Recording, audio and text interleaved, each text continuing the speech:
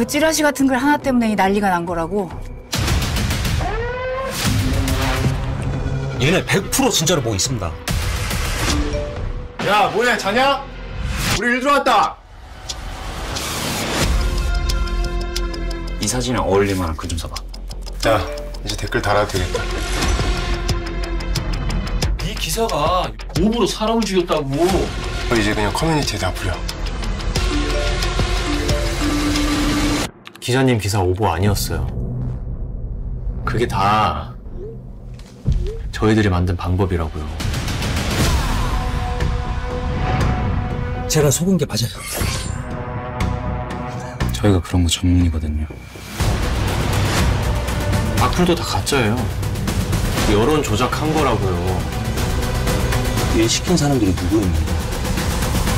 혹시 무슨 정부 같은 데서 나오셨어요?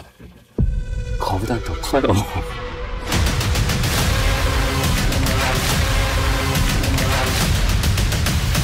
이게 뭐 어디까지 진짜라는 건데?